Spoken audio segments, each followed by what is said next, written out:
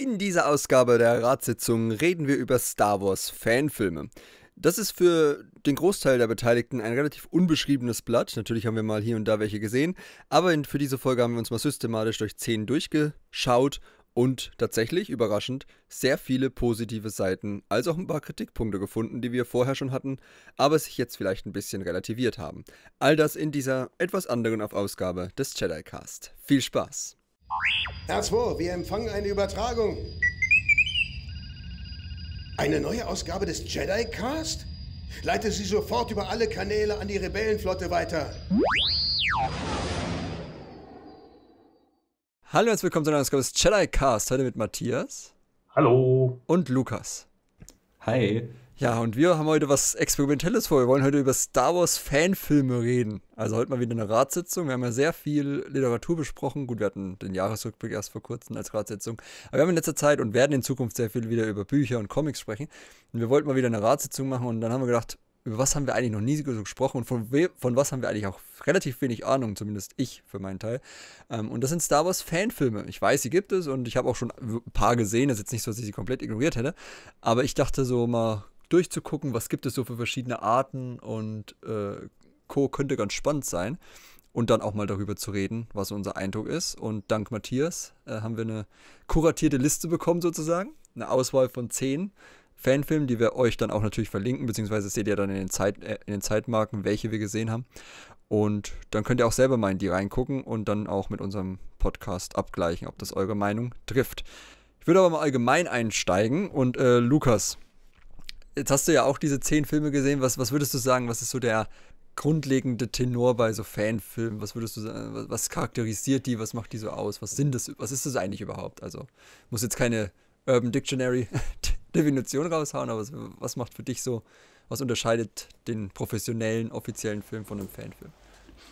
Also es ist ja so, dass es viele, viele, viele Arten gibt, vor allem beim Star Wars-Fandom, wie man, auf welche Weise man sein Fan-Dasein ausleben kann. Hm. Und wenn man eben sich für das Thema sehr interessiert und fürs Filmemachen allgemein mit geringem Budget oder gar keinem Budget und einfach Spaß daran oder sich denkt, wow, ich würde genau gerne das mal sehen in einem Star Wars-Film und ich habe es noch nie gesehen oder Star Wars in diesem Style sehen oder mal schauen, wie war das denn eigentlich mit den Sturmtruppen, die, ähm, die bei Onkel Owen und Tante Bero waren, um schon mal nicht zu viel vorwegzunehmen. Ähm, genau, und dann ist eben für, für viele Fans, oft ist das ja ein jahrelanger Prozess, was man dann so hört, vor allem bei aufwendigeren Fanfilmen. Ähm, das ist dann eben eine klare Art, die Liebe dazu auszudrücken. Und was es eben ausmacht, was vor allem ziemlich viel auffällt, ist, in den seltensten Fällen haben wir wirklich klassische Star Wars Musik, schon gleich beim Intro, weil da fängt natürlich schon die ganze Copyright-Geschichte an und, und die Grauzone, in der sich das allgemein irgendwo ja befindet, auch wenn es immer den Disclaimer gibt, dass es Non-Profit ist, nur aus Spaß, nur für Fans zum Schauen. Mhm. Ähm, Gibt es trotzdem da hin und wieder kleinere Schwierigkeiten, wozu wir auch später was sagen werden.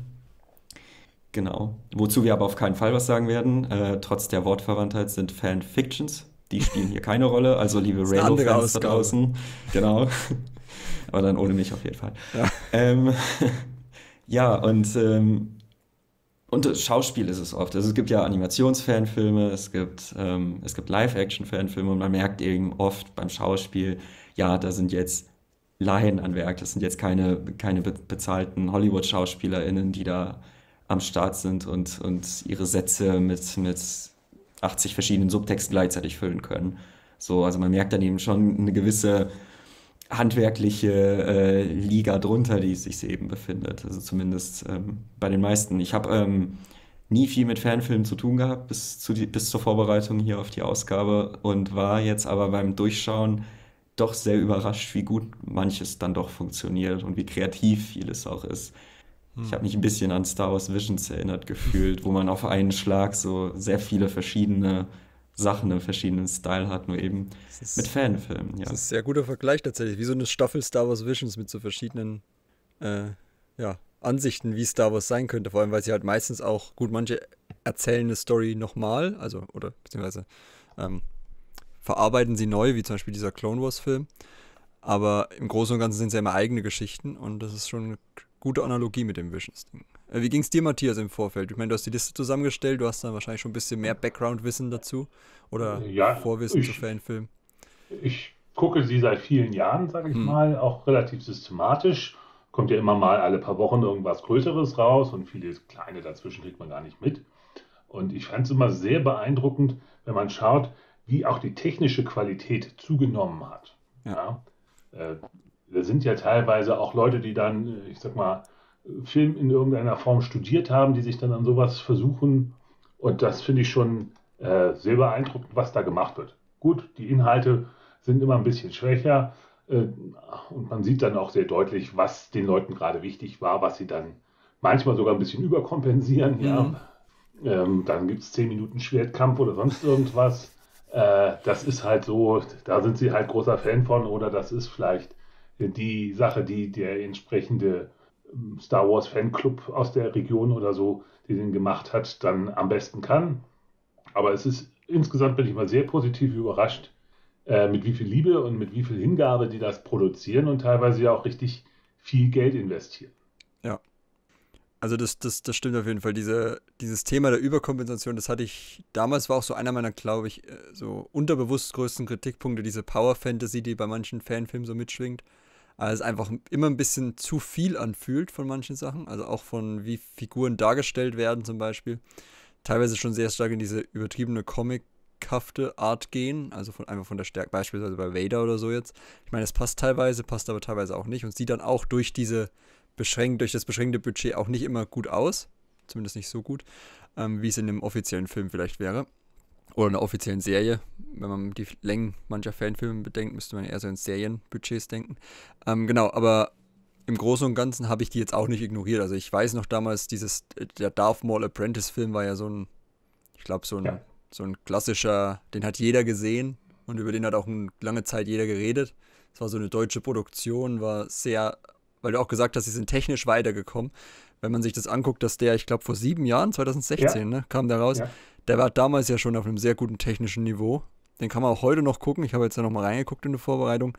Wohingegen halt jetzt andere Filme, die noch 2019 erschienen sind oder so, gerade in Lichtschwert-Sachen, jetzt so wie zum Beispiel der Kenobi-Film, äh, Fanfilm, nicht so beeindruckend waren. Also da geht es technisch schon, kommt immer darauf an, wer es macht, wie viel Budget natürlich dahinter steckt, aber auch jetzt zum Beispiel den aktuellsten, den du verlinkt hast, den Wingman, also der war auch äh, technisch schon sehr beeindruckend für einen Fanfilm.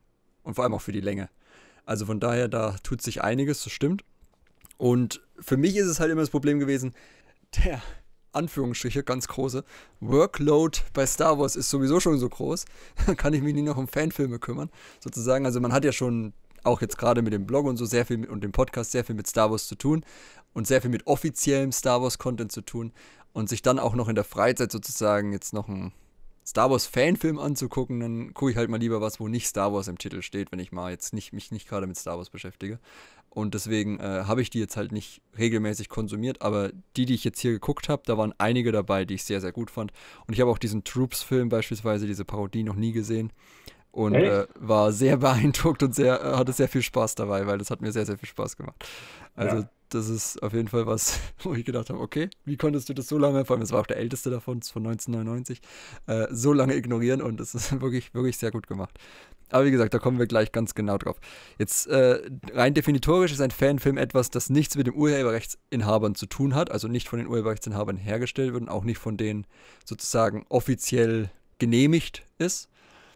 Dann gibt es natürlich immer das Problem, was vorhin ja auch angesprochen wurde von Lukas, dass es äh, manche nicht so begeistert davon sind. Also Matthias hat es ja im Vorgespräch äh, schon gesagt oder angesprochen, dass es da auch mal das Thema gab, die zu verbieten. Wie gesagt, ich glaube primär bei Star Trek, ne, bei diesem einen Star Trek-Fanfilm, genau. wo Paramount dann versucht hat oder ja eigentlich festgelegt hat, dass gewisse Sachen nicht mehr so gemacht werden dürfen. Wie sieht es denn da aus? Also naja, du bist natürlich immer mit einem Bein, sage ich mal, im Knast, wenn du sowas machst, ja, weil du eben gegen die Urheberrechte verstößt und die entsprechenden Studios, die auch sehr stark beachten müssen ähm, und meistens dann auch relativ klare Policies herausgegeben haben, was erlaubt ist, was nicht, ja, gerade im Star Wars Umfeld ist es dann ja hauptsächlich für die Kostüme, wo man gesagt hat, hier, wenn ihr der 501. angehört und Charity und so weiter und so fort, das erlauben wir euch. Andere Sachen ist man dann ein bisschen immer skeptischer. Und da muss man natürlich sagen, das war damals bei äh, Star Trek äh, eine Ausnahmesituation. Da kamen, ich glaube, über eine Million US-Dollar äh, aus Crowdfunding zusammen und sollten da also eine, eine Miniserie mitfinanziert werden, die hochprofessionell gemacht werden sollte. Hm. Da sahen die natürlich damals eine Bedrohung, dass jetzt plötzlich tatsächlich die Fan-Community äh, anfängt, da ihre eigenen Serien zu produzieren. Und gerade kurz bevor Discovery dann kommen sollte, äh, da war man natürlich besonders nervös. Aber das hat natürlich sich auf dem Markt niedergeschlagen. Ja, also ähm, viele dieser Projekte sind damals dann reduziert oder eingestellt worden. Und das hat nicht nur Star Trek betroffen, das hat, kann man auch sehen bei Star Wars. Nur so circa ein, zwei Jahre später schlug es dann um und ähm, auch weil immer die, die Videotechnik immer professioneller wurde, die den Amateuren für wenig Geld zur Verfügung steht, haben wir dann jetzt dann wieder einen Aufschwung in, an diesen Produktionen gesehen. Ja, aber bei Star Wars gab es jetzt nicht so offiziell so ein großes äh, Ding von Disney oder Lucasfilm, dass sie gesagt haben, nee, wollen wir nicht. Also sie, äh, sie werden natürlich jetzt nicht so gefeatured, logischerweise. Also zum Beispiel, es gibt jetzt keine Screenings von Fanfilmen, zumindest nicht auf der Star Wars Celebration oder sowas. Ich habe heute extra nochmal ins Programm geguckt, ob es vielleicht irgendwas gab, als sie in London waren, aber ist mir nicht aufgefallen. Es gab aber zum Beispiel bei der Norris Force Con ja diese äh, Screenings ja. von so Fanfilmen, also auf so Fancons gibt es das dann natürlich auch. Ähm, aber so offen dagegen vorgehen habe ich jetzt nichts gefunden von Star Wars an sich. Also, wie gesagt, das mit dem Star Trek-Film war ja auch ein extremer Fall ja. mit dieser hohen Professionalität. Ja. ja. Wobei man schon sehen muss, immer wenn du Special Effects aufbaust und so weiter und so fort, bist du schnell im fünfstelligen Bereich, hm. was so eine Produktion dann kostet. Und du siehst ja dann manchmal auch in den Abspanns, was für Software sie einsetzen, was für Add-ons und Softwarepakete zusätzlich, um diesen Effekt hinzubekommen, um das zu machen und so weiter und so fort.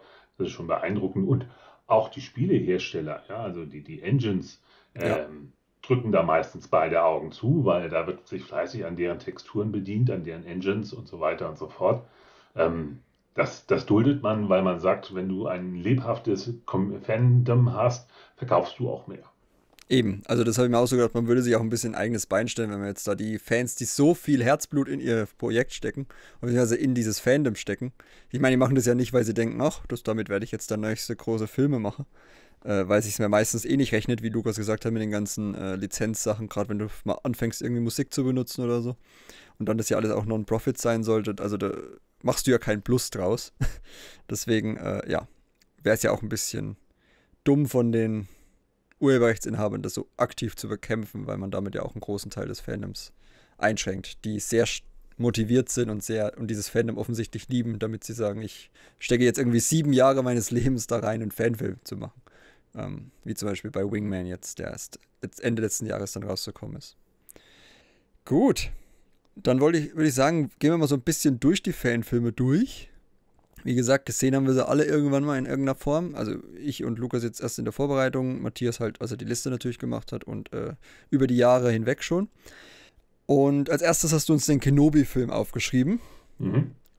der mit 7,3 Millionen Aufrufe Ende 2019 erschienen ist und meiner Meinung nach schon was ganz Besonderes hat, denn er hat einen offiziellen Star Wars ja, Schauspieler, Synchronsprecher in einer Rolle. Was ja immer so dieses Präzedenzfall-Ding ist, ne, eigentlich. Er hat, also er hat ihn nicht in der Obi-Wan-Rolle, das wäre wahrscheinlich schlimmer, aber er hat ihn in der Nebenrolle als äh, Offizier James Arnold Taylor. Und ich finde, er hat auch teilweise schon einiges von dem, also er ist ja kurz vor der Kenobi-Serie bei äh, Disney Plus erschienen. Mhm. Und er hat schon versucht, einiges an Lücken zu füllen dort und vor allem auch mit den Landschaftsaufnahmen zu arbeiten, wie wir es dann ja aus Mando schon kannten und so weiter und so fort. Also man hat sich schon sehr viel Mühe gegeben, da dicht ranzukommen. Ja. Ja. Und es ist ja auch randvoll mit Easter Eggs, also allein was, was der Obi-Wan alles zitieren lässt, vom, vom klassischen Hello there ja. zu, ähm, zu dem Gedankenträg You don't need to see the identifications. Ja. Genau. Das haben wir aufgeschrieben, in weniger als einer Minute beide Sachen gedroppt. genau, Welt, Weltrekord. Ja. Ähm, aber es erinnert mich sehr an die, vor allem die Beziehung zwischen Obi-Wan und, und Owen, wie sie in dem ähm, Comic von Jason Aaron von 2015 dargestellt wird, den ja die Obi-Wan-Serie dann mehr oder weniger überschrieben hat. Ah, okay. Siehst du, den kenne ich gar nicht. 2015 ist zu lange her, da habe ich auch keine Comics gelesen. Dann war das noch komplettes Neuland für mich. Nee, aber ähm, also, also auch so, ja, wobei, also, dass er ihn nicht leiden kann, ist er jetzt, oder wie mein, welche Beziehung genau meinst du jetzt? Einfach diese Charaktereigenschaft, dass er sich fernhalten soll oder verschwinden soll? Weil die kam ja dann auch in der Kenobi-Serie rüber. Genau, einfach grund grundsätzlich, wie, wie der alte Ben zum jungen Luke steht, wie, mhm. wie Owen, was Owen ihm so sagt. Äh, und eben dann auch, wie die beiden reagieren, wenn es eine Bedrohung von außerhalb gibt, die ja dann in der Serie ein bisschen auf die Spitze getrieben wurde. Ähm, ja, es gab einfach, gab einfach so ein paar Elemente, die, die wie direkt aus dem Comic hätten sein können. Was mich nur wahnsinnig irritiert hat, war ähm, das Lichtschwert, wenn wir darauf mal zu sprechen kommen können. Ähm, es ist, es, also vom Griff her sieht es ja sehr aus wie Anakins Schwert. Aber benutzen tut der Fanfilm Obi-Wan es dann wie sein eigenes Lichtschwert. Das aber sonst nirgendwo zu sehen war und am Ende schließt es wieder weg in die Truhe, die aussieht wie die Truhe, der, aus der dann Luke das Schwert wiedergibt. Habt ja. ihr das irgendwie anders interpretiert? Ich habe es gesehen, aber ich hatte mir darauf noch keine vertieften Gedanken gemacht. also, ich habe es so verstanden, wenn ich meinen Stift aufgehoben habe, ähm, dass Obi-Wan diesen, äh, das Schwert ja da nachts irgendwie durch die Wüste getragen hat und für, ja, äh, saß, wegwerfen wollte und quasi Owens Rat folgen wollte, das Ding da äh, sein zu lassen und eben Luke sein zu lassen vor allem und zu gehen. Und dann wurde er irgendwie überfallen und dann kam die, und dann hat er das Lichtschwert aber dabei gehabt und dann kam ja die, die Imperialen, dann hat er halt das gerade dabei und hat es dann benutzt. Und ja, ich glaube, die wollten sehr stark auf diesen Blick von Luke auf das Lichtschwert hinaus, den wir dann auch in der einen Kam Kameraeinstellung sehen. So genau, als kleines Foreshadowing hin. Also es war von Anfang an Anakins Lichtschwert, glaube ich. Okay. Und sein eigenes hat er einfach Sein eigenes hat er nicht dabei gehabt, weil er ja nur, weil er ja nicht sein, er wollte ja nicht äh, kämpfen, er wollte ja nur das andere verschwinden lassen oder wegtun, wegschmeißen, wegwerfen. Wobei das in eine Schlucht zu werfen eine möglichst denkbar ungünstige Art und Weise ist, zu verstecken ja. oder zu verbergen. Ja. Einem Java auf dem Kopf am besten. ähm, genau, ich fand auch Der am Anfang... in den Flammen aufgeht. Aber das später. das kommt später, ja. ich freue mich schon drauf. Ja. Ähm, ich fand nur am Anfang extrem unscharfe Einstellungen teilweise. Also gerade in der Höhle, diese Lens-Flare-Effekte und so. Also es war so es hat sich irgendwie teilweise echt ein bisschen so als gedacht, ist meine Brillenstärke jetzt nicht mehr die richtige? Ist das einfach wirklich so unscharf? Oder also da war sehr viel so, ich weiß nicht, ich bin jetzt kein Profi im Filme machen, aber so ein Vignetteneffekt, der aber alles außenrum komplett verschwommen gemacht hat und das wirkte irgendwie so, so wie so ein Fiebertraum in dieser Höhle. Ich weiß nicht, ob das diesen Dampf und diese, dieses Feuer darstellen soll, dass das dann so, so wahr war da drin, aber irgendwie fand ich das so mit Absicht undeutlich wahrscheinlich, damit man ein bisschen den Hintergrund kaschieren kann oder so. Hätte ähm, ich auch gesagt. Die Freilandaufnahmen oder Freiluftaufnahmen dann an, auf der Farm, ich meine, gut, es war in der Wüste, das war dann nicht mehr so. Ähm, der Kampfstil war aber ganz gut, aber die Effekte halt, ne, merkt, das war halt ein Beispiel, wo ich gesagt habe, da merkt man schon, die Lichtschwerteffekte haben andere Fanfilme drei Jahre früher äh, noch besser hinbekommen. Also das Lichtschwert war mit das Schwächste, fand ich, an dem Film. Ähm, aber James Arnold Taylor fand ich ganz gut.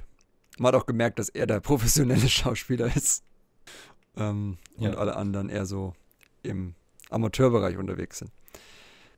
Aber am Ende eine nette, nette Ergänzung eigentlich. Also auch so ein, so ein Thema, auch was man kurz machen kann. Äh, Obi-Wan soll verschwinden. Dann werden die da untersucht oder, oder durchsucht. Dann merken sie, okay, wir brauchen Obi-Wan vielleicht doch, weil doch die Gefahr für Luke noch besteht, dass, dass da äh, die, das Imperium kommt und dann ist erstmal wieder alles gut und dann bleibt es halt erstmal beim Status quo. Also man verändert jetzt nicht viel am Kanon, es bleibt dabei, es ist halt so ein kleiner Encounter zwischendrin. Dass er dann natürlich alle mit der Macht dazu bringt, das alles zu vergessen, ne? ist schon ein bisschen strange. Aber musste ja so sein, sonst hätte er ja irgendwelche Konsequenzen haben müssen.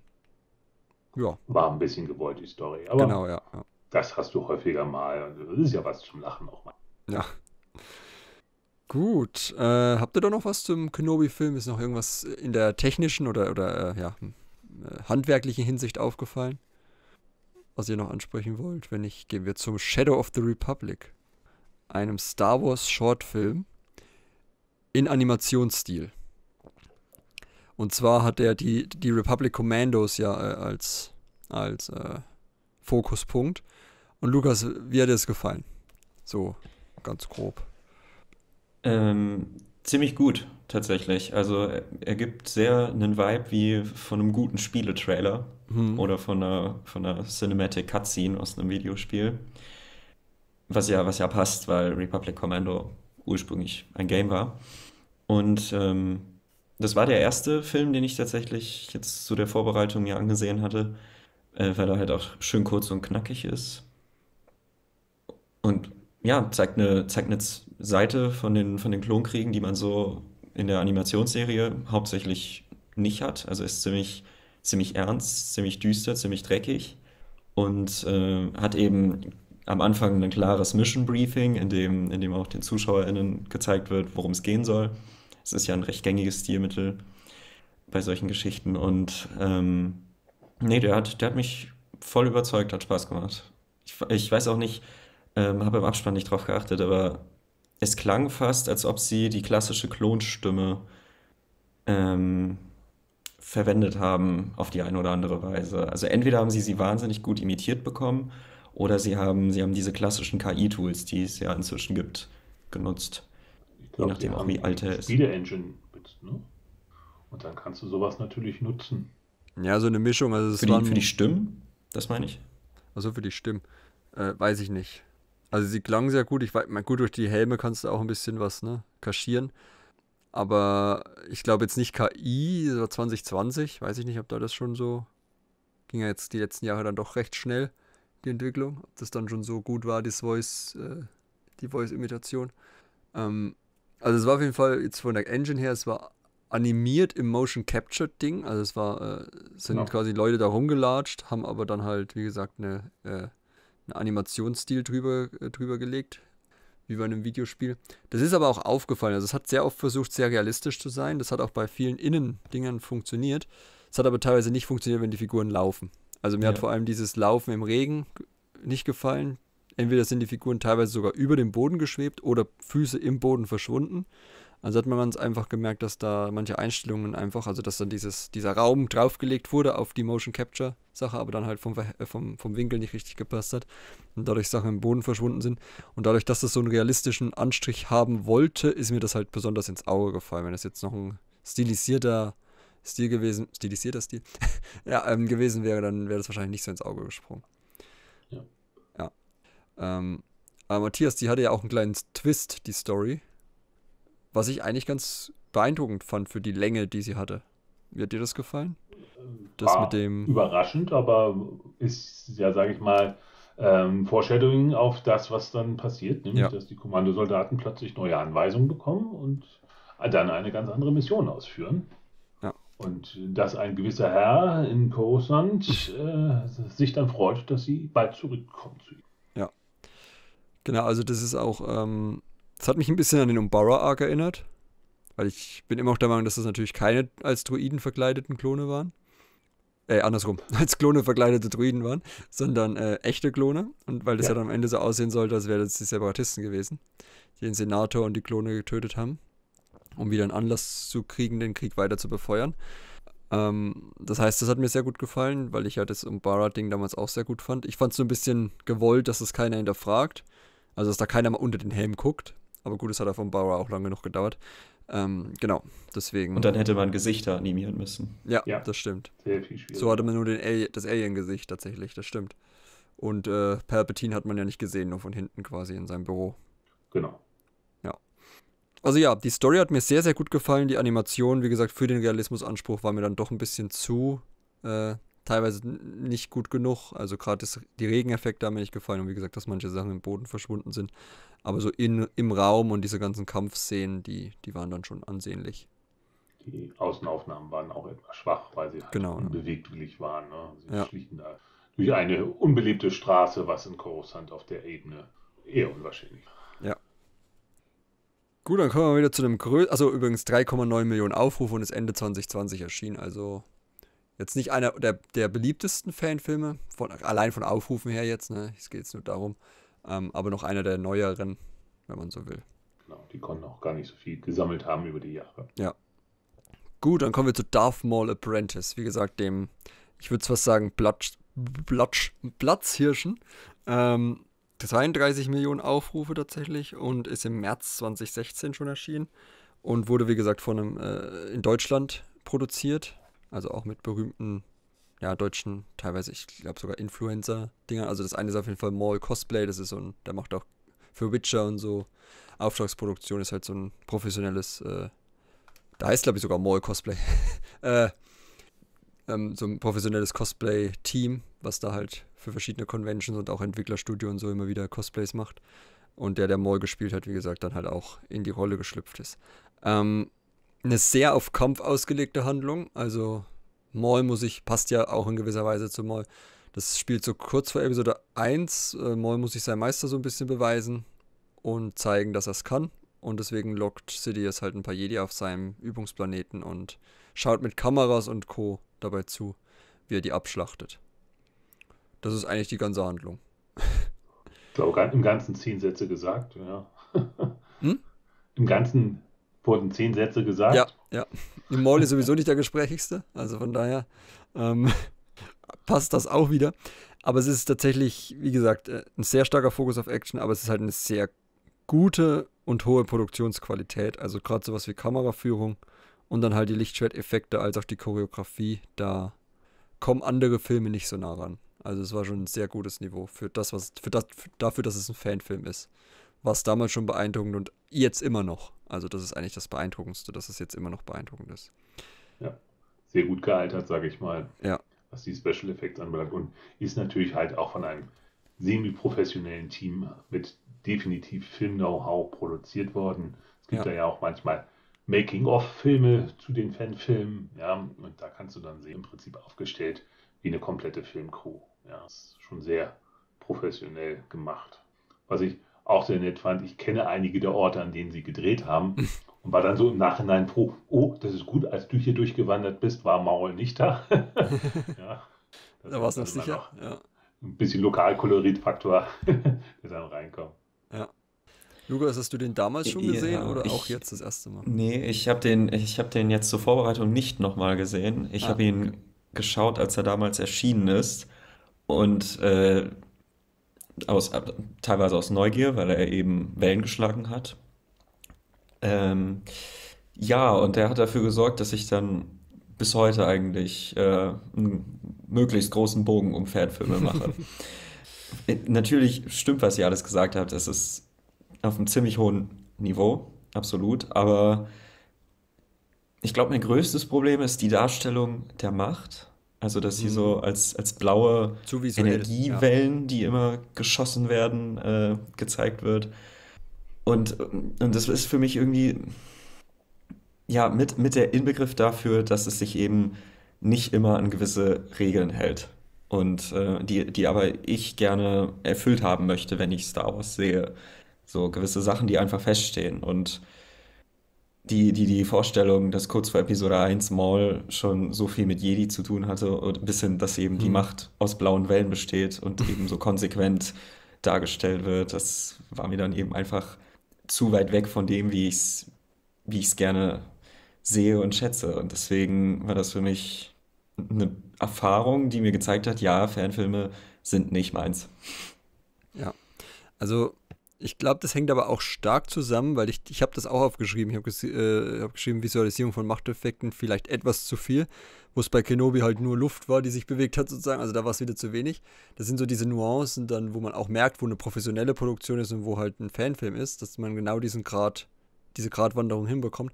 Und ich glaube, hier merkst du das besonders, um mal jetzt auch wieder diese, diese Visions-Analogie zu, zu bemühen, weil es so hoch produziert ist, also weil die Produktionskosten so hoch sind, fällt dir halt mehr auf, dass es nicht so, dass es dann trotzdem in gewissen Punkten nicht so ist wie eine offizielle Produktion und es deswegen noch mehr ins Auge fällt. Wenn ich jetzt eher diesen Visions-Ansatz hätte, dass was komplett anders aussieht oder billiger aussieht, dann ist es vielleicht nicht ganz so schlimm. Also wenn jetzt Lichtschwerteffekte ja. nicht so gut sind, dann fällt mir auch nicht auf, wenn die Macht ein bisschen zu blau ist oder zu, zu viel Wellen schlägt, um so sozusagen. Zumindest fällt es mir nicht so sehr auf, weil ich dann generell sage, okay, das ist halt ein Fanfilm, aber hier war das für meine Ansprüche damals und heute das Niveau so hoch, dass einem eben halt Sachen wie eben diese Macht und auch inhaltlich, wie du sagst, dass so viel Jedi da schon an Maul äh, auf Maul-Treffen ein bisschen zu viel war oder zu sehr ins Auge gestochen ist.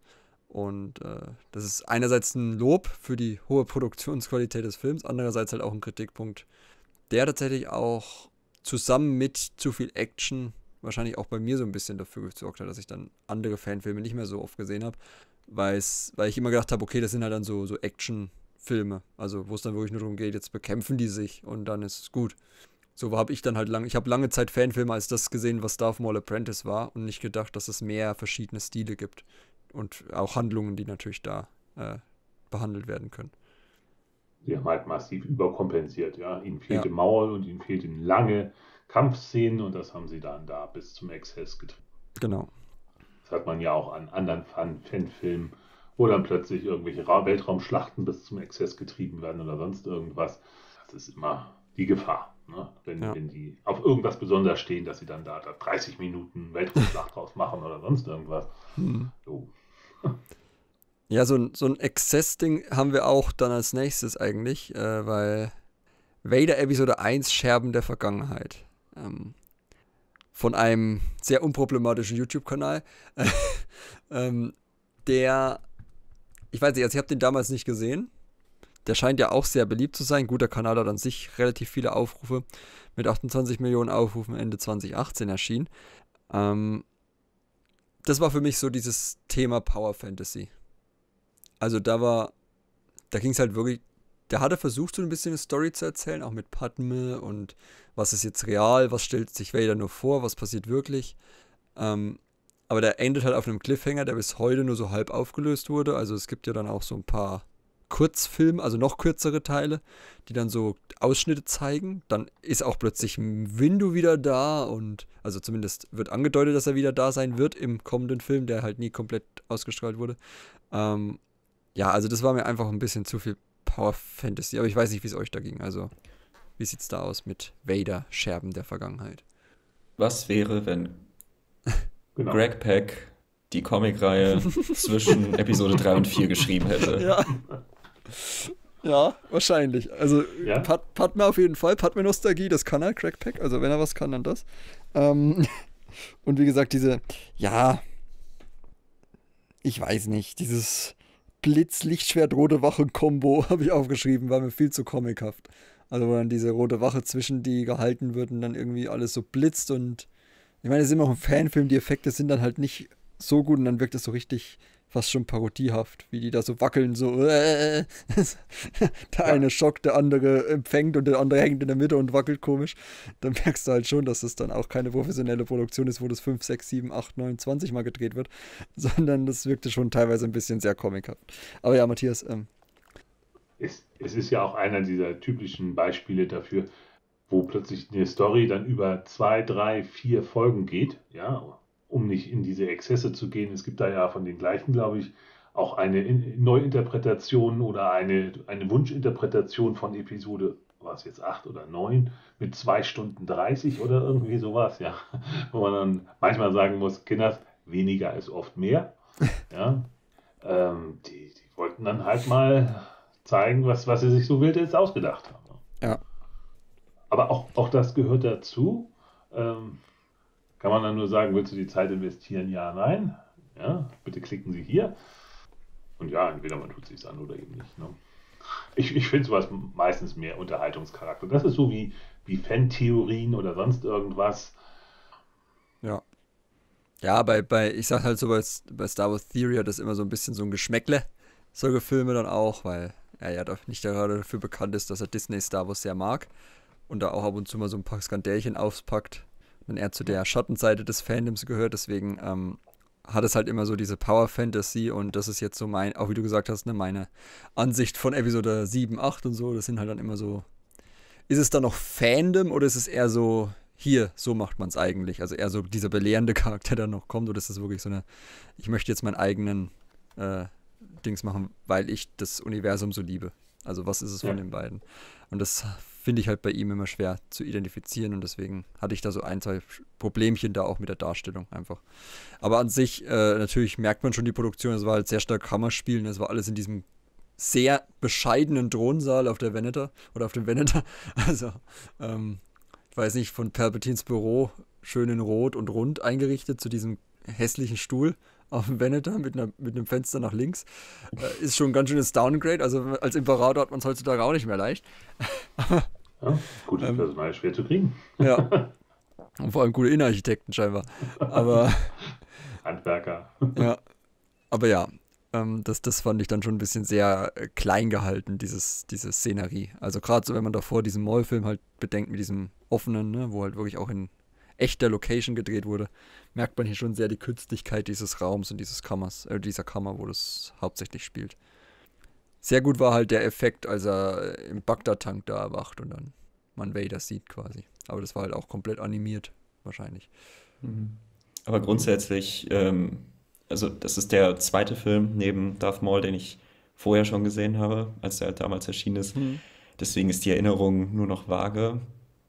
Aber ich fand den, den Look und das Color Grading ziemlich, ziemlich cool eigentlich.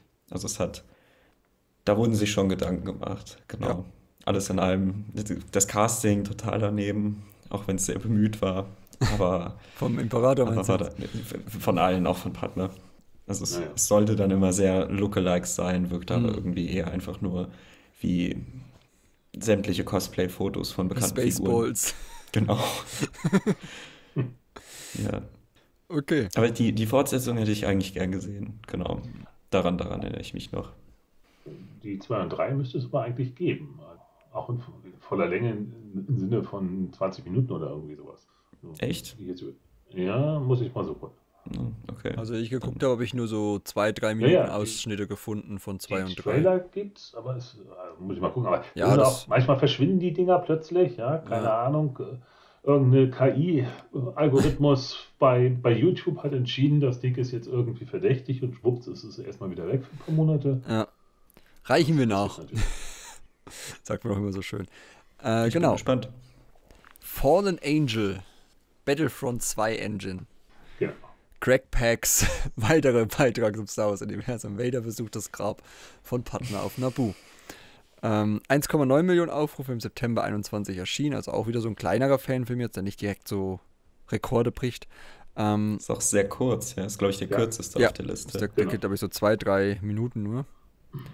Und ja, also klar, die Battlefront 2 Engine, äh, was war das? Ähm, Frostbite?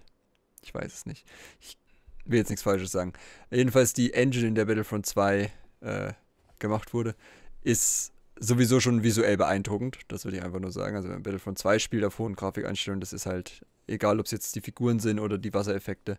Vielleicht jetzt nicht unbedingt die Gesichter, aber das ist jetzt bei einem Spiel, wo man hauptsächlich Sturmtruppen und so spielt, jetzt auch nicht so wichtig in einem Multiplayer, wo man die Figuren vor allem meistens von hinten sieht, ähm, während man sie steuert. Äh, das ist schon eine sehr gute Grafik, die diese Spiele haben und durch diese Engine äh, transportiert wird. Und das sieht man in dem Film auch. Also gerade weil ich bei Republic Commando noch so gesagt habe, diese Wassereffekte, die funktionieren hier halt schon mal um Längen besser. Weil es halt in der Engine einfach drin ist. Also die Camino Map und so, die hat halt standardmäßig Regen. Und dadurch kannst du das halt schon mal viel, viel besser wahrscheinlich darstellen, wenn du einfach diese Engine als Grundlage nimmst. Aber ja, wie, wie sieht es bei euch aus? bin ich völlig deiner Meinung. Ähm, hatte ich auch eben als Beispiel für, für diese Engine-Nutzung hm. hauptsächlich reingefügt, ja, um mal zu zeigen, dass man auch ganz anderen äh, Blickwinkel oder einen ganz anderen Werkzeug dafür benutzen kann, solche Filme herzustellen, als immer mit einem kleinen Ensemble irgendwo im Wald. Und äh, es war ja nur ein, nur ein Moment. Ja, da wollte jemand dann zeigen, gucke mal, dass Vader besucht Padmes Grab meiner Meinung nach hätte es das Gemetzel am Ende nicht gebraucht, aber gut, bisschen Action muss halt immer dabei sein. Genau, ein bisschen Action ist halt einfach so. Jetzt muss das auch noch kommen, sozusagen, damit es halt, ja, schwer auszudrücken, aber ich finde halt, dass, dass das gehört halt so ein bisschen zu diesem Anspruch wahrscheinlich auch, was viele Fanfilmer haben. So dieses, wir haben ein Stück Handlung und ein Stück Kampf, um einfach auch zu zeigen, was so alles möglich ist. Ja. Und weil man es wahrscheinlich auch selber einfach gern so die, die Herausforderung hat, das zu zeigen. Das war jetzt auch kein Riesenkampf, es war halt gegen diese paar äh, Rebellensoldaten. Was halt auch passt, dass die da halt auf Nabu patrouillieren, während Vader. Es war auch, glaube ich, ein, äh, eine Einreichung für einen Fanfilm-Wettbewerb, wenn ich das richtig gesehen hatte. Der ja. 2021 stattfand, genau. Ja, ich fand ihn, ich fand ihn ganz nett. Ich habe mhm. nur das Gefühl gehabt, ähm, also dieser Effekt, dass es halt eben mit begrenzten Mitteln hergestellt wird, hat sich, vergrößert sich halt noch, wenn man Star Wars Battlefront 2 viel gespielt hat, wenn die Waffen und wenn eben die Rebellensoldaten dort einem ziemlich gängig sind, weil, weil es eben teilweise direkt rausgenommen wurde. Also manche, manche Animationsabläufe, wenn Vader jetzt äh, die Rebellensoldaten wirkt, das hat man dann eben schon sehr gemerkt, ja. dass das fast, fast direkt rausgenommen wurde und das wirkte, wirkte dann sehr recycelt auf mich gibt ja sogar einen Fanfilm, der aus diesen Szenen zusammengeschnitten worden ist. Das ist dann schon eine Liebesarbeit, sage ich mal, diese ganzen Szenen zu finden, zu aneinander zu stücken, einen neuen Kontext zu bringen, der einigermaßen Sinn macht. Also das ist, das ist halt auch ein Teil der Kreativität, ja. Ja, die zur Verfügung stehenden Werkzeuge bestmöglich zu nutzen. Ja. Ich glaube, Star Wars HQ war das, oder? Die da so einen Star Wars-Fanfilm in Battlefront 2 gedreht haben, richtig. Also immer wieder die gleichen Einstellungen gelaufen sind und so. Ja. Müsste es gewesen sein. Habe ich damals auch mitbekommen. Habe ich das Endresultat nie gesehen. Das ist auch so ein Problem, ähm, was wir so mal zwischendurch reinwerfen können. Es gibt sau viel oder sehr oft sehr, sehr viele Trailer und Ankündigungen und hier, das ist der aktuelle Stand. Und dann siehst du nie das fertige Produkt, weil du es einfach ja. dann vom Algorithmus nie mehr vorgeschlagen bekommst. Also du schaust dir diese ganzen Trailer an ähm, zum Glück war es beim nächsten, was dann kommt, bei mir umgekehrt. Ich habe die Trailer nie mitbekommen und war dann total überrascht, was das gibt's, als es rauskam. Aber in den meisten Fällen ist es bei mir so, oh, da ist mal ein Trailer, ja, ich gucke mal so drüber, okay. Und dann, wenn du jetzt äh, nochmal nachguckst, ja, so vor drei Jahren kam der Trailer und der fertige Film ist jetzt da. Und du denkst so, ja, gut, das ist halt dann blöd gelaufen, weil so lange hält der Algorithmus das auch nicht in der Hinterhand. und dir dann das nächste oft, vorzuschlagen. Und oft genug gibt es dann ja den fertigen Film auch gar nicht. Ja? Wir haben dann nach zwei Jahren mal gezeigt, was sie schon bislang äh, geschaffen haben und irgendwo ist ihnen auf der Strecke die Lust oder das Geld oder die Zeit ausgegangen. Ja, wir kennen es ja alle. Äh, als Student fängt man an, hat noch mehr Zeit zur Verfügung, dann hat man plötzlich einen ersten Job, Familie und dann ist das Hobby plötzlich nicht mehr so wichtig und dann enden viele dieser Projekte auch einfach hm. im, im Nirgendwo. Gibt es nicht, ich meine mal von gehört zu haben, so ein legendäres unglaublich lange schon in Entwicklung sich befindendes deutsches Fanprojekt über die Tidirium. 20 Jahre oder so. Also es ich glaube, die waren ohne, auf der ohne NFC damals. Ich habe es auch, also Tidirium, weil du es gerade sagst. Äh, irgendwas, irgendwas klingelt da. Ja. Hm. Aber ich weiß nicht, ob es schon draußen war oder so. Seit 2002 produziert. Ja, das ist, ist halt so. Plötzlich wechselt ja. der Cast, ja, oder sonst irgendwas. Manchmal stirbt auch einer, das hatte ich bei dem einen Film auch. Den ist auf halber Strecke da ihr Hauptdarsteller abhandengekommen. Jo. Ja, das passiert schon mal. Ja, und er ist immer noch nicht draußen, soweit ich sehe. Also ja, wie du gesagt hast, seit 20 Jahren in Entwicklung. Wie gesagt, die, genau, die waren noch auf der Norris ForceCon, daher kannte ich das jetzt so, weil, es, äh, weil ich gesagt habe, Titanium habe ich schon mal gehört. Genau. Da haben sie mal Informationen gezeigt und wieder ihren Stand sozusagen. Also sie arbeiten scheinbar noch dran, aber wie gesagt, das dauert halt alles, ne? Äh, und manche Sachen sehr, sehr lang, manche halt dann nicht ganz so lang. Aber da waren auch einige der Filme dabei, die wir angeguckt haben, die schon lange. Also ich glaube, Mall Apprentice war so mit der schnellste tatsächlich auch. Also ich, weiß nicht, ich habe das Making-of damals auch gesehen, aber das war halt auch schon vor sechs Jahren. Es war ja irgendwie nur eine Woche, weil natürlich auch dieses Equipment sau teuer ist, ne? Und dann die Schauspieler und so, also es muss ja dann alles schnell gehen. Und die Postproduktion hat auch nicht so ewig gedauert. Also haben es halt dann sehr schnell gemacht. Also der hat jetzt nicht irgendwie sieben Jahre Zeit gebraucht, bis er da war, sozusagen, wie andere Filme mit Effekten und allem. Sondern er war, glaube ich, so eine, ein paar Monate, knapp ein halbes Jahr Angelegenheit. Aber müsste ich nochmal ins Making-of gucken, kann ich jetzt leider nicht sicher sagen. Aber zum Beispiel halt der Wingman oder so, wo sieben Jahre in Entwicklung ist, da merkst du halt schon die Unterschiede. Ja, man muss, muss halt auch sehen, wenn was wirklich gezeichnet wird, wie bei äh, TIE Fighter, ja, hm. das dauert dann einfach. Die, die zeichnen ja. jedes Bild und so weiter und so fort. Mit der Animationstechnik musst du zwar viel rechnen, dann hängt es halt davon ab, mit welcher Hardware bist du da unterwegs. Ja. Und auch da kann es mal schnell ein paar Wochen dauern, bis dann irgendwelche Szenen fertig sind, je nachdem, welche Qualitätsstufe du da zum Einsatz bringst. aber das ist immer auch, auch die Abwägung, die man da treffen muss. Wie wichtig ist die Szene? Brauchen wir sie wirklich in höchster Qualität animiert oder können wir das überhaupt leisten? Ja. Genau, und vor Weihnachten, wie gesagt, ist mir dann plötzlich ein Film in die Timeline gespült worden, den ich vorher null auf dem Schirm hatte, obwohl ich eigentlich absolute Zielgruppe dafür bin, nämlich Clone Wars Battle of the Heroes, a Star Wars Fan Animation. Lukas, Mhm. was sagst du? Wieder, wieder so ein Fall von einem Fanfilm, der Wellen geschlagen hat und sogar ich, der mich eben nicht viel damit beschäftigt ist, mitbekommen habe, weil sehr, sehr viele Stills aus ihm äh, über Social Media gingen. Weil der Film ja im Prinzip das Ende von Episode 3, äh, bezieh- also nicht das Ende, Ende, aber ausgewählte Szenen, das Duell zwischen Obi-Wan und Anakin auf Mustafa hauptsächlich, in dem Clone Wars Look neu interpretiert. Und ähm, das ist auf jeden Fall schon auf dem Papier eine sehr spannende Sache. Ich habe ihn jetzt heute für die Vorbereitung endlich mal gesehen und ähm, ging für mich voll auf. Also es hat nicht ganz die Qualität der Clone Wars Animation, zumindest aus den späteren Staffeln, getroffen. Es gab dann hin und wieder mal manche äh, Bewegungen, vor allem, vor allem in der Mimik, die, die nicht auf so einem ganz hohen Niveau waren. Aber alles in allem fand ich es mal mega spannend. Diese, diese Live-Action-Szene, die man in- und auswendig kennt, Ja. die zu einem der Highlights der, der Saga gehört, in dem Look aller Geschichten mit Anakin und Obi-Wan, die man das, also zwischen Episode 2 und 3 erlebt, mal zu sehen. Genau, ich weiß gar nicht, wie, wie haben sie das mit dem, mit dem Ton gemacht? Ist das der Originalton aus den, aus den Filmen? Teils, Ich teils. schon, ne? Also es ist auch ähm, ein paar Sachen nachsynchronisiert, glaube ich sogar. Und dann halt wahrscheinlich dann in dem Fall tatsächlich mit KI irgendwie drüber gehen lassen. Ähm, aber das mit den, allein schon die Stimmen, genau, das hat mich auch beeindruckt. Gerade am Anfang halt, wo man halt sehr viele neue Voicelines hat. Wobei ich weiß gar nicht, ich glaube, der Anfang war ja aus dem Umbara Arc. Richtig. Und da war, Nee, war ja schon. ähm, oh, oder warte. Umbara? Umbara oder was? Nicht Umbara. Chris. Utapau, genau. Utapau, Umbara genau, der war ja. halbfertig animiert Genau. war, genau. Und da war ja auch schon synchronisiert. Das heißt, da hatte man halt die Voicelines auf jeden Fall. Das andere war größtenteils dann Film, denke ich mal, und dann halt die zusätzlichen Sachen noch eingesprochen. Also es ist, das hat mich auch beeindruckt. Und die Also Musik erste wurde verwendet, die Genau. Originale. Das, das hat auch viel, viel ausgemacht Ja. schon.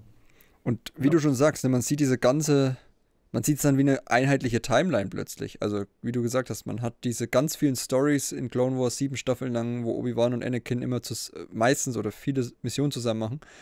Und dann hast du auch den, den Abschluss, des, die, die Trennung sozusagen, den Verrat, den Kampf in diesem Stil. Das fühlt sich dann halt wirklich nochmal so wie eine weitere Episode aus Clone Wars an. Und das hat mich so beeindruckt, dass ich das gesehen habe. Wie gesagt, vorher null auf dem Schirm gehabt und riesen Clone Wars-Fan. Das war genau für mich gemacht. Und Mimik und Zeug, auch Anakins Haare teilweise, ne? Da bin ich voll bei dir.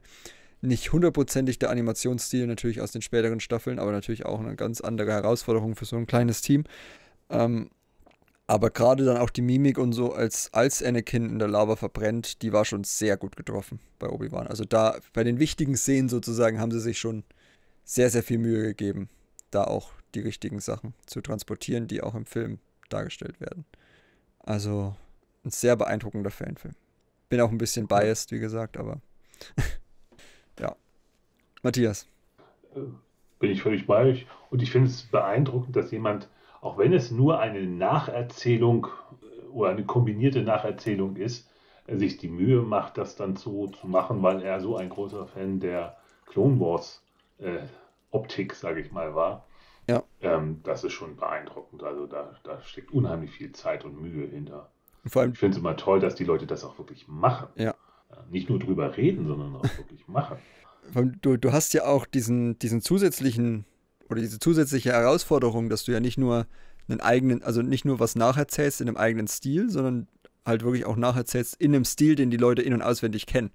Ja. Also das ist jetzt nicht so wie, wie bei dem Republic Commando Ding oder auch von mir aus bei dem Battlefront Ding, wo du sagst, ja gut, da kann ich so ein bisschen noch meinen eigenen Touch machen, da kann ich hier und da ein paar Sachen ändern.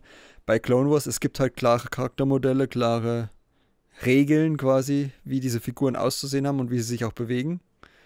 Und das dann wirklich so gut, bis auf wenige kleine Details umzusetzen und dann auch so eine Detailverliebtheit zu haben, das war für mich einfach beeindruckend. Also Hut ab.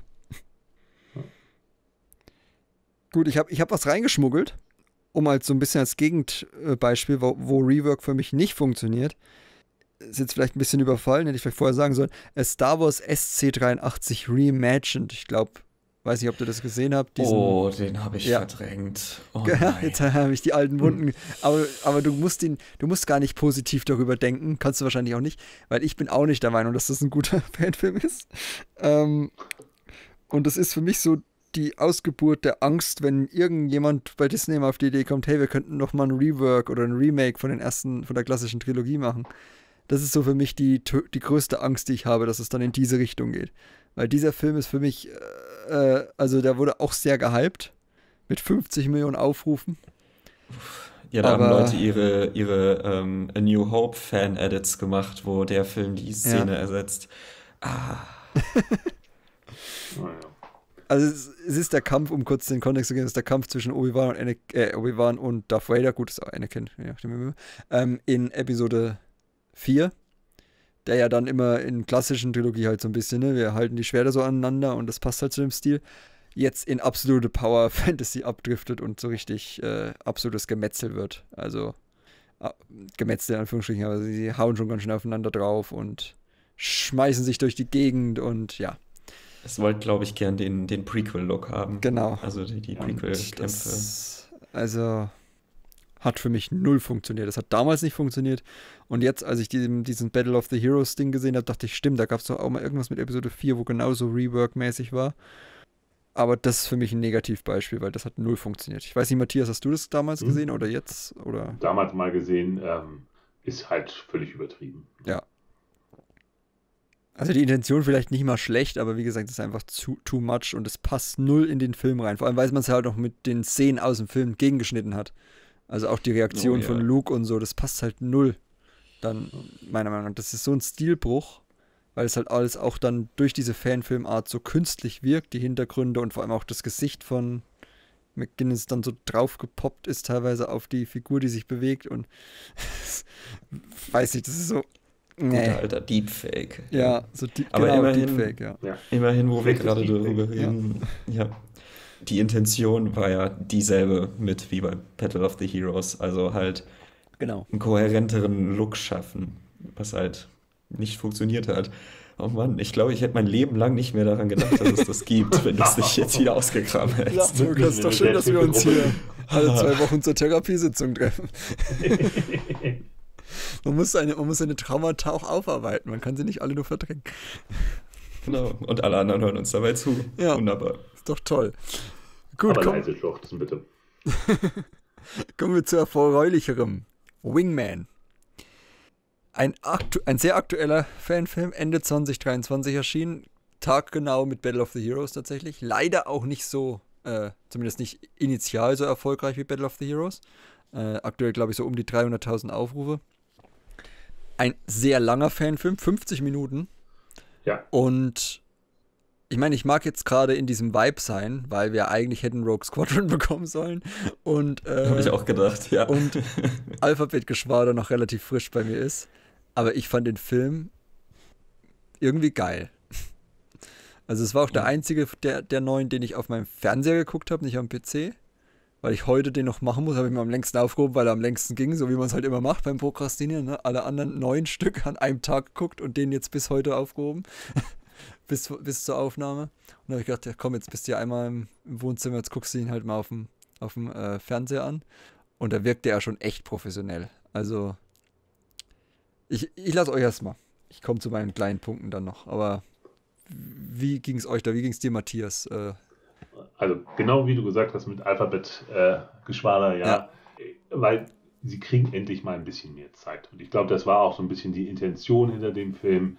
Nicht immer nur X-Wing für drei, 30 Sekunden wilde Action und dann sind sie nicht mehr im Bild, sondern mal richtig eine Geschichte erzählen und ein bisschen Raum geben und den, den Kampf sich entwickeln lassen und so weiter und so fort. Ich fand es einfach nett. Ich habe die, ich weiß nicht, vor zwei Monaten oder so mal entdeckt und äh, habe es mir gerne angeschaut, habe gesagt, ja, so könnte auch eine Geschichte aussehen, ja, und fand's gut.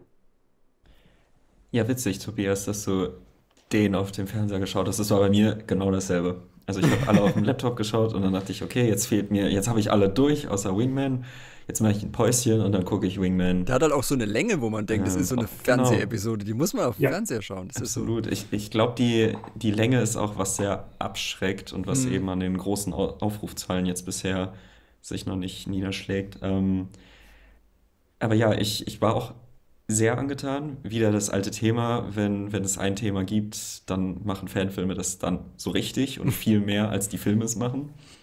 Also hat ja, hat ja wahrscheinlich in, in seiner Laufzeit mehr als sämtliche Pilotenlaufzeit aller neuen Filme zusammen, so ungefähr. Ja.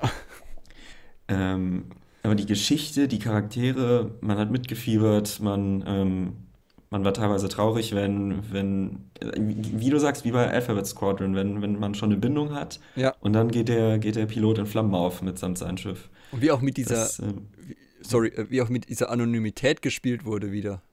Also wie im ersten Alphabet-Geschwader-Roman, wo man eben die Gegenseite noch nicht kannte, die Imperialen, ja, und die noch kein Gesicht hatten. Und hier quasi genau dieses gleiche Ding, auch der, was du gesagt hast, ne, mit dem einen Kommandanten der Staffel, der dann seinem Tod quasi ins Auge blickt und sagt, ich kenne diese Art von Piloten, das ist nur Hass oder nur, das geht über die genau. Professionalität genau. hinaus.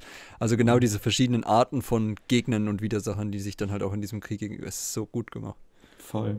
Und was, ähm, was technisch nicht auf dem höchsten Niveau war, hatte ich das Gefühl bei dem Film, anders als bei Maul, das war dann gleichbleibend nicht auf diesem Niveau. Also es war nicht so, dass manches mega gut aussah und dann andere Elemente extrem scheiße, sondern es, es war alles auf einem Niveau, auf einem guten Niveau, hm.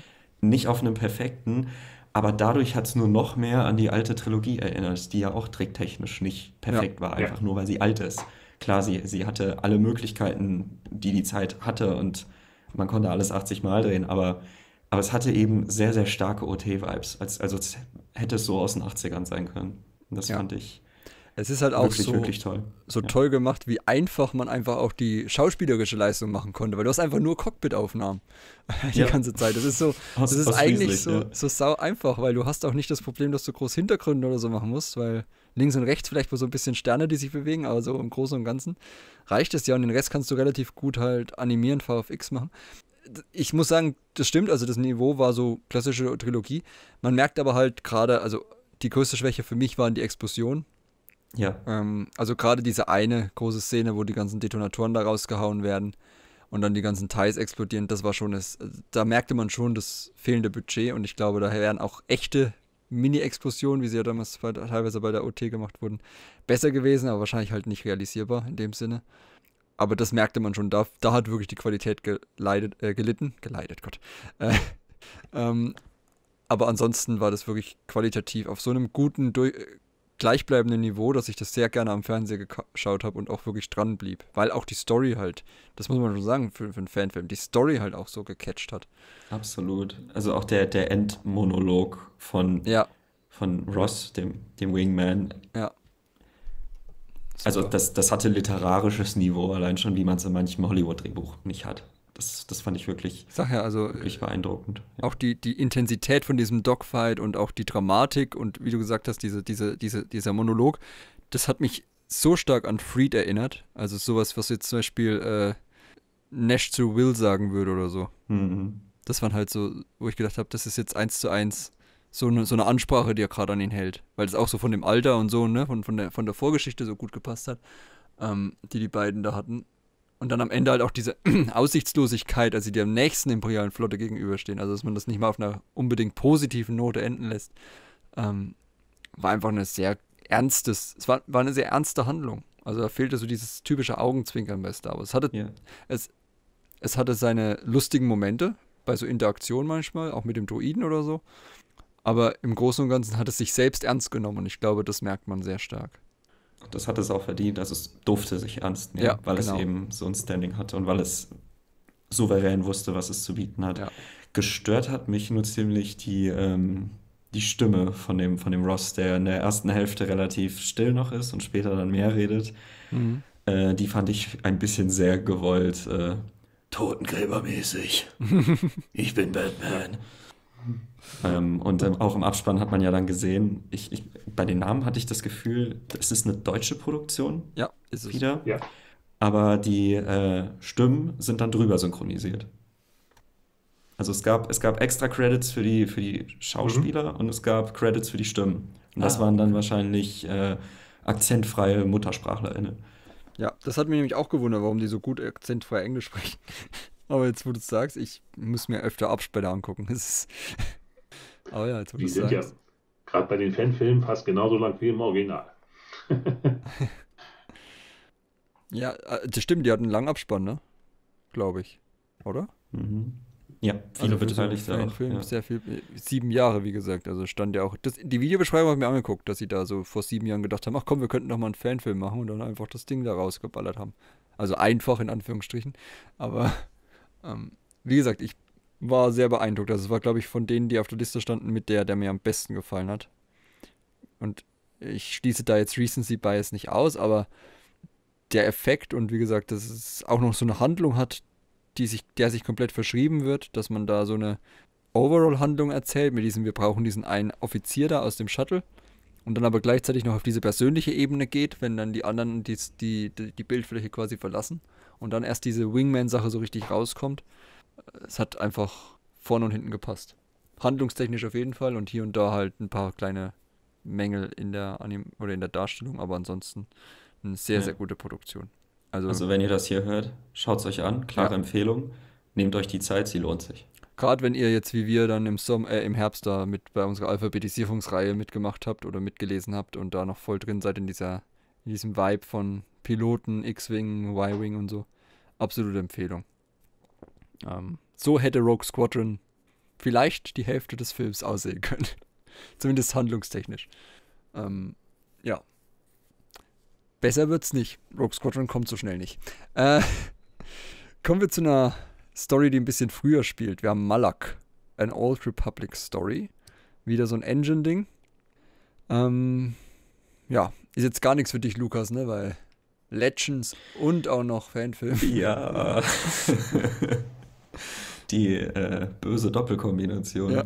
Ich bin auch bei Old Republic gar nicht drin. Also ich weiß klar, also grob, wer Revan und Malak sind. So. Mhm. Und ich habe es mir angeschaut, aber ja, es hat mir. Ich habe jetzt nicht viel mit connecten können. Nee. Ich habe mich eher gefragt, wie viel wurde eigen dazu gedichtet und ähm, wie viel wurde da einfach nur ein Ereignis adaptiert, was ist, wo sich möglicherweise darauf bezogen wird, das man aber nie gesehen hat. Aber da kennt ihr euch ja wahrscheinlich besser aus.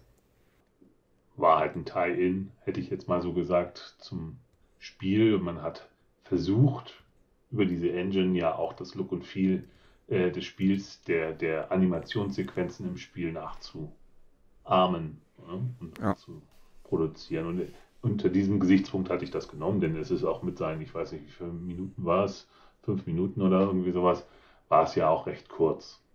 Und klar, wenn man damit überhaupt nichts anfangen kann, dann versteht man das nicht, denn du wirst da unversehens reingeworfen. Ja, also es ist wirklich nur so ein Tie-In. Ja.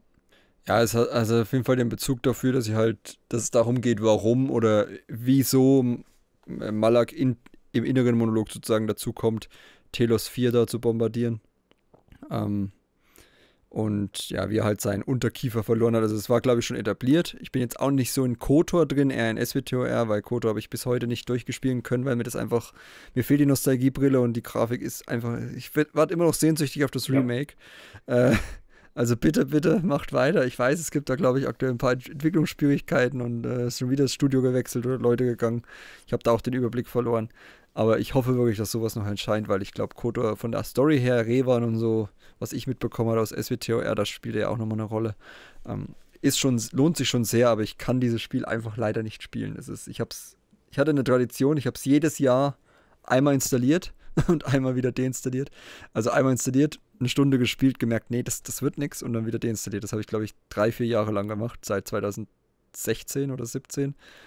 Bis dann das Remake angekündigt wurde und dachte habe, okay, jetzt warte ich aufs Remake und ja, das äh, kann ich wahrscheinlich nochmal so viele Jahre warten. Ja, nicht nur Fanfilme brauchen 20 Jahre. Ja, auch manchmal Remakes. Dann ist das Spiel wieder in einem Zustand, dass es eigentlich schon vor zehn Jahren äh, outdated war. Aber wir schauen mal. Ähm, Können ja Wetten annehmen, ob eher das KOTOR Remake oder Rock Squadron erscheinen. Aber beides hat einen Ankündigungstrailer. Toll. ja.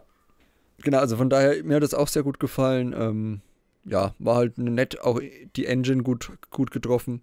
So könnte auch ein Remake aussehen dann von dem Spiel, also ne, wenn man die Engine so remaked, dann sieht so eigentlich ganz gut aus. Ist jetzt natürlich in Unreal Engine erstellt. Ich glaube nicht, dass das äh, Originalspiel in Unreal war. Nee. Nee. Äh, von daher, ja, also auch eine andere Engine benutzt, was man ja auch sieht. Also ich meine, die Grafik ist wesentlich besser als in den klassischen Kotor-Teilen. Ähm, genau, aber auch ein sehr, sehr netter Film, den man so als Tie-In, wie du gesagt hast, Matthias, sehr gut konsumieren kann. Gut, kommen wir zum richtigen Visions-Vertreter in der Reihe. Star Wars TIE Fighter. Matthias, was ja, ist das?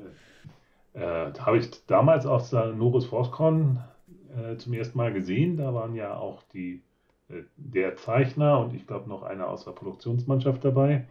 Ähm, ein gezeichnetes Erlebnis im Stil, sag ich mal, der 70er, 80er Jahre, glaube ich, äh, der japanischen Manga-Darstellung, die einen TIE Fighter-Piloten in den Kampf begleitet und äh, allerlei äh, spezielle Effekte sozusagen zeigt, die dann damals waren. Die Geschichte selber habe ich jetzt gar nicht mehr so genau in Erinnerung, ähm, aber es war ganz nett und vor allem es ist komplett gezeichnet. Ja, es ist eben nicht schnell mal irgendwie animiert, wo du dann äh, das besser machen kannst äh, mit dem Fluss, sondern es ist Bild für Bild für Bild für Bild gezeichnet. Das ist eine unglaubliche Liebesarbeit, die er da reingesteckt hat äh, auch mehrere Jahre. Und äh, es ist halt visuell sehr ansprechend, finde ich. Ja, es ist eine schöne Sache, sehr, sehr detailliert ausgearbeitet, vor allem die Startsequenz, wenn ich mich richtig erinnere, wo, wo sie dann den TIE Fighter starten, wo er dann die verschiedenen Geräte einschaltet und so weiter und so fort. Mit diesen ganzen Perspektivwechseln und mhm. so weiter und so fort. Hat mir einfach gut gefallen. Story nicht wirklich von Belang. Ja, ist einfach, ich weiß nicht, zehn Minuten oder was es da ist, äh, einfach mal gucken, grinsen und sagen, schön. Lukas, das ist ja immer so, ähm, dein Ding sind ja immer die Soundtracks. Das würde mich jetzt mal tatsächlich interessieren. Müssen wir darüber reden. Ähm, mir gefällt er insgesamt weniger gut. Hm. Und die Musik äh, spielt da ganz viel mit rein. Also es wurde eine Star Wars-mäßige Intro-Musik gewählt, die, wenn da der Titel eingeblendet wird, ertönt ähm, wo man schon direkt wieder merkt, ja, okay, ich bin in einem Fanfilm drin und da hat jemand Angst vor dem Musikclaimer.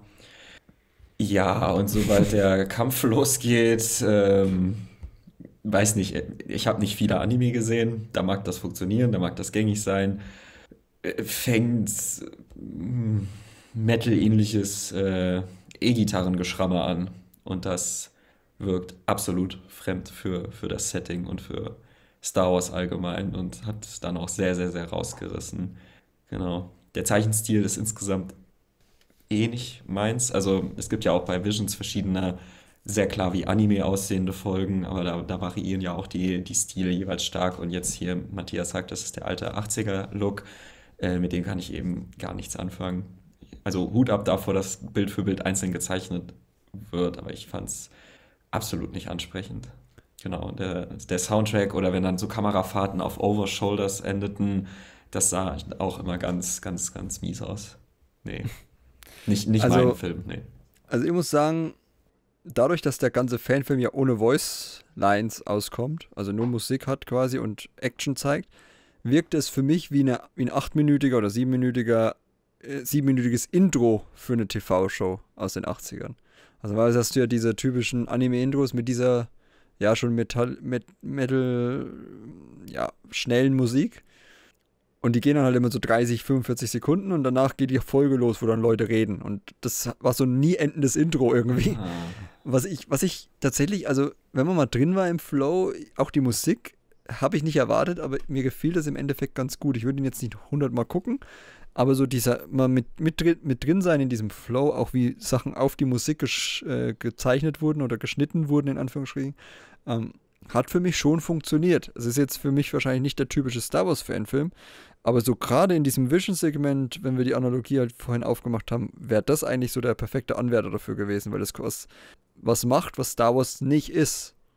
Also die anderen versuchen ja immer irgendwie dieses Star Wars-Gefühl so komplett heraufzubeschwören. Das ist eher so, ja, 80er Jahre Piloten Top Gun Serie in, äh, in Star Wars Optik zumindest, aber halt vom Sound her nicht Und das hat mir tatsächlich sehr gut gefallen. Äh, muss ich dir widersprechen, Lukas. Aber ja, ähm, ist ja auch. Jeder darf seine eigene Meinung Geschmäcke haben. sind ja unterschiedlich, genau. Also von daher, ja, ich fand auch den Effekt cool, wie die Helme mal immer ausgeblendet wurden, damit man drunter gesehen mhm. hat, welcher Pilot da sitzt und dann auch ein bisschen mehr diese, diese menschliche Ebene hat. Also ja, äh, und, und dass das Imperium halt mal so dieses heroische, sieghafte war. Also auch mal so den kompletten Perspektivwechsel, dass das Imperium hier derjenige ist, der gewinnt und für den man ja dann irgendwie doch mitfiebern soll, aber dann trotzdem irgendwie sich ja dafür schämt, weil es halt das Imperium ist. Aber ja, irgendwie ein ganz, ganz komischer Blickwinkel auf Star Wars, der mir dann überraschend trotzdem gefallen hat. Ja. Gut, und zum Abschluss sollen wir ja immer was Lustiges haben. Und da äh, bietet sich doch Troops an. Genau, der Klassiker. Ja, Lukas. Hm? Mhm. ich kannte ihn nicht und ja. ich kenne auch nicht die zugrunde liegende Serie, die es scheinbar mit parodiert. Ja, Cops, ja. Habe ich Kann auch googeln müssen. Aber, aber, aber trotzdem war es absolut herrlich. Also, ja. einfach, einfach schön. Ich konnte teilweise echt nicht mehr. Ja. war, war glaube ich, also nicht, dass wir jetzt Jedi-Cast zum Thema Parodien machen müssen, um Gottes Willen, aber ähm, wenn ich was bei Star Wars, glaube ich, noch schlimmer finde als Fanfilme, dann das. Aber, aber das war, glaube ich, die beste Parodie, die, die ich je gesehen habe. Weil es eben nicht nur Star Wars eben sehr parodiert, sondern auch dieses Serienformat, was wir auch so in Deutschland manchmal auf Streife kennen, auf gewissen, genau, auf gewissen genau. Privatsendern und äh, das so nüchtern auf, auf Star Wars übertragen äh, mit Einblendung von worum es jetzt geht. Ja, und hier, hier kennen wir, hier kennen wir alle, die hier leben. Ja, ja, man kennt sich. Das ist. und ich, ich muss zugeben, ich habe, bis es gesagt wurde, äh, Beru und Owen nicht erkannt. ja erst als, es, als eben dann die Namen fielen, ich dachte, ich dachte nur, ah, okay, jetzt sind da einfach Einheimische. Und irgendwann habe ich dann verstanden, warte mal, gestohlene Druiden ja. und die beiden haben hier den Streit. Wir sind hier gerade mitten, mitten im Film mitten sozusagen. In Episode 4, ja. Genau, und gleich die, eben sind die Javas schon verbrannt und gleich sehen wir, wie, wie die beiden und die Farm verbrennen. Und als das gedämmert hat, da war es da war's herrlich. Also ich weiß nicht, ob es als äh, From a Certain Point of View Kapitel funktioniert hätte so. Aber als, äh, als Star Wars und Cops Verarsche war es großartig und, und Bad Boys als Song noch dazu. herrlich. Ja, nee, der, der, macht, der macht Spaß. Ja. Und der ist auch gut gealtert, finde ich. Auf Wenn man denkt, dass der, dass der schon noch aus den späten 90ern ist. Ja, der profitiert auch so sehr von diesem 4 zu 3. Das ist unglaublich. Ich, ich musste darüber nachdenken, dieser, dieser, also dieser alte, das ist halt so im alten, der war 4 zu 3, oder? Ja, genau, im ja, alten ja. Fernsehformat ist. Der profitiert so sehr davon, weil es halt dann genau noch besser auf diese Parodie passt, die ja dann auch wahrscheinlich so ausgestrahlt wurde in den ersten Staffeln früher. Ich weiß nicht, ob die immer noch läuft, die Serie. Ähm, ich habe nur kurz gegoogelt, ob es überhaupt diese Cops-Reihe gibt. Äh, aber es ist so, also auch die Zitate, die die da teilweise raushauen. Alle Verdächtigen ja, sind schuldig, ja. sonst wären sie ja nicht verdächtig, oder? genau. so, diese Rechtfertigung und diese, diese, diese, ja, diese Professionalität auch. Ja, es gab eine kleine Ausschreitung und im Hintergrund explodiert der Sandcrawler und das ganze Zeug. Das ist so, ja, wir haben alles im Griff, das passiert ja häufiger. Das ist eigentlich ganz hier, normaler Tag. Ja, genau. Hier gibt's Machen Sie die Kamera aus. also, und, und auch wie sie die Gesichter von Beru äh, teilweise so unscharf gemacht haben, damit sie nicht erkannt werden, wie auch bei diesen. Also wirklich, ich habe mich in die dunkle Vorzeit, wo ich ab und zu mal noch auf Streife so nebenbei mitbekommen habe, wenn es im Fernsehen lief, äh, erinnert gefühlt. Und ich musste der, ich hatte direkt wieder so einen, so einen kalten Schauer über den Rücken, dass es halt wirklich so gut getroffen wurde. Ich meine, ja, äh, auf Streife ist ja im Endeffekt eine, äh, eine, eine Anlehnung an diese Cops-Serie wahrscheinlich. Ja. Im Deutschen. Oder früher war es ja diese andere da, Harry und Dingsbums, ne? Die beiden komischen Cops, die früher immer im, im äh, Privatfernsehen da rumgefahren sind. Jetzt ist es halt auf Streife. Aber wieder die ganzen Sachen wie in diesen Real-Life-Formaten drin sind, das ist. Und das ah. Casting wurde dadurch auch absolut nebensächlich. Ja. Weil, weil Haare und Kostüm hat gestimmt. Passt. Und, und ja, die beiden haben sich zwar jetzt in die Luft gesprengt, aber wir werden mal ihren Neffen Duke suchen. Der hieß doch ja, Duke, oder? Das ist. Oh. Die amerikanischen Polizisten, die da parodiert werden, galten halt in diesen Serien auch als nicht besonders helle. Ne? Hm. Aber es war halt so die, den, der Nachbarschaftsbulle in Anführungszeichen. Ja, genau. ja, und so benehmen sie sich auch. Und das sind sie ja auch im Prinzip. Die Stormtrooper sind da ja nicht so sehr als Elite-Sondereinheit des Militärs im Einsatz, sondern wirklich als so, die, die üblichen Wachpolizisten, die dort dann für Sicherheit sorgen sollen. Ne? Ja, äh, auch die Kreativität, die da halt einfach drinsteckt. Wie gesagt, dann diesen Tod von Owen und Beru, was ja total tragisch ja. ist im Film, so umzudichten in diesem Beziehungsstreit, wo sie sich in die Luft sprengt mit ihrem Mann zusammen, weil sie es nicht mehr erträgt, mit ihm zusammenzuleben und sich jetzt Sorgen um Luke Das ist so, und diese hysterische, oder, also, so, so, sie, sie gehen jetzt mal eine Nacht nicht, nicht nach Hause, ne? Dieses, das war auch so, das sind auch so typische Elemente, die man halt in diesen Soap-Sachen da immer hat. So, ja, sollte man eine Nacht getrennt verbringen, damit immer wieder die Gefühle runterkochen und so. Und dann nimmt sie einfach den Koffer und sprengt sich in die Luft und dann, naja, gut, gehen wir halt wieder und suchen Duke. Es ist. Es, und dann im Abspann noch so, ja, es gibt eine Ausschreitung in der Kantina und ich dachte, oh Gott. Das nächste Problem. Ja. also wie man das halt so im Episode 4 rumgewebt hat. Es hätte ja schon gereicht, dass so einfach. Am Anfang dachte ich ja auch, das ist einfach so eine typische Daily-Parodie. So das tägliche Leben von Sturmtruppen auf Tatooine. Aber dass man das dann so noch um Episode 4 rumwebt, ist halt einfach so geil und so kreativ. Also das Voice-Acting ist super gut. Also wie die Sturmtruppen synchronisiert sind oder, oder halt äh, gespielt werden. Klasse. Also wirklich auch eine sehr gute Empfehlung. Nach Wingman, die wahrscheinlich mit das, was wir haben. Na gut, ich darf Battle of the Heroes nicht vergessen, aber so. Auf jeden Fall die drei Sachen gebe ich eine äh, ja. Schauempfehlung auf jeden Fall aus. Da gehe ich mit, ja. ja. Gut, dann versuchen wir mal sowas wie, eine, wie ein Fazit zu ziehen. Wie gesagt, wir haben sehr viele verschiedene Fanfilme und es gibt noch viel, viel, viel, viel mehr. Wir haben natürlich jetzt kaum alle besprochen, äh, besprechen können. Äh, deswegen ist jetzt nicht so wie, oh, wir haben jetzt hier über Fallen Star oder über äh, Eye of Darkness geredet, lasst uns ein Fazit ziehen. Wir können jetzt schlecht sagen, ja, Fanfilme sind generell scheiße. Deswegen, generell finde ich, Fanfilme werden jetzt nichts werden, was ich mir wahrscheinlich jetzt weiterhin äh, exzessiv angucke und dann immer darauf warte, dass ein neuer erscheint. Aber ich werde jetzt wahrscheinlich mal, wenn mir mal einer vorgeschlagen wird und der auf den ersten Blick spannend wirkt, nicht mehr generell so ablehnend sein und sagen, nee, das ist ein Fanfilm, den gucke ich jetzt erstmal nicht. Also habe ich ja schon bei Battle of the Heroes, das war, glaube ich, auch so nicht erst durch die Liste, die, rum, die du rumgeschickt hast, Matthias, sondern wie gesagt, dadurch, dass ich Battle of the Heroes so vor Weihnachten in die Timeline gespielt bekommen habe, ist ja dieses Thema Fanfilme auch erst so auf unsere Agenda so ein bisschen gekommen. Als ich dann gesagt habe, hey, da gibt es diesen Clone Wars äh, Fanfilm, der ist relativ cool. Ähm, dass wir da halt, da habe ich ja schon angefangen zu sagen, okay, vielleicht sollte ich doch Zimmer ab und zu mal in einen reingucken, weil das hat sich jetzt gerade gelohnt. Und ich glaube, das werde ich auch in Zukunft zur Hand haben. Und generell von denen, die wir jetzt hier, gut, es war eine aussortierte Liste, eine kuratierte Liste, wo da schon wahrscheinlich nicht nur Lowlights, wo du nicht mit Absicht Lowlights reingepackt nein, hast, denke ich mal. Nein, genau. Bunte Mischung. Bunte genau, ja. Ähm, deswegen sage ich ja, also es war schon eine sehr gute Mischung hier und auch sehr gute Vertreter ihres Genres. Von daher kann man da, glaube ich, generell nichts allzu Negatives dran finden. Ich werde da, wie gesagt, in Zukunft häufiger reinschauen. Und ähm, ja, ich würde mich auch freuen, wenn es mehr Fanfilme dann jetzt, auch wenn Acolyte dann vielleicht erschienen ist, rund um High Republic gibt. Für mich wäre immer noch der Idealfall eine, ein Rework in der richtigen Adaptionsart. Also, dass man beispielsweise eine, eine Romanhandlung adaptiert in einen Fanfilm. Oder irgendwas. Oder ein Kapitel aus einem Roman adaptiert in einen ja. Fanfilm. Weil das wäre dann für mich das Ideal, dass wir gleichzeitig, es ist Kanon, aber es hat eine neue, es hat eine neue Ebene dazu gewonnen. Also es hat aus diesem Roman was Visuelles gemacht, wo man sagt, das ist dann das, was sich lohnt. Was wir auch generell ja auch generell bei diesem Filmadaptionspodcast gesagt haben, dass sich es da teilweise lohnt, wenn man eine Handlung, eine Filmhandlung gut in einen Roman adaptiert, dass man die innere Gedankenwelt hat und dass man dann halt eben das ins, in die andere Richtung natürlich auch machen kann. Oder wenn man eine Romanhandlung in einen Comic adaptiert. Das sind immer so diese besonderen Sachen, dass man diese visuelle Ebene hat.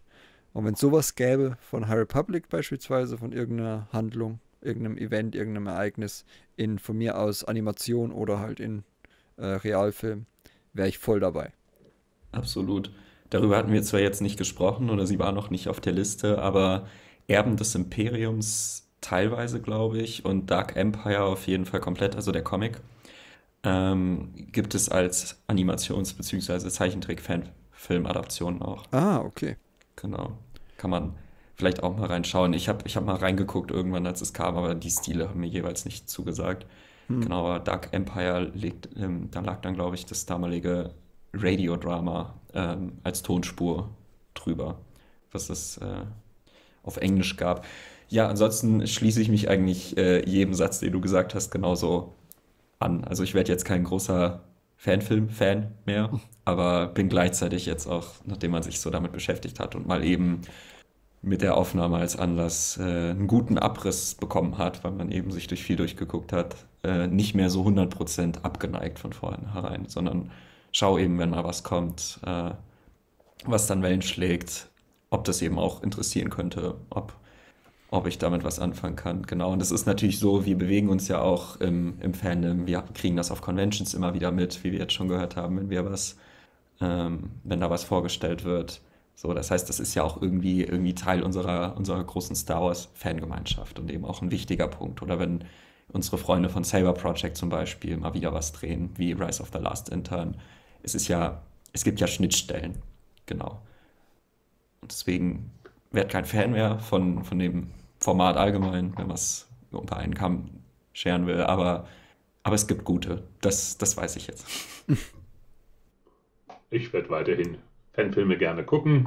Ich habe da immer nicht so große Erwartungen daran und lasse mich dann gerne positiv überraschen. Und wenn es nicht so dolle war, naja, auch so. Ne?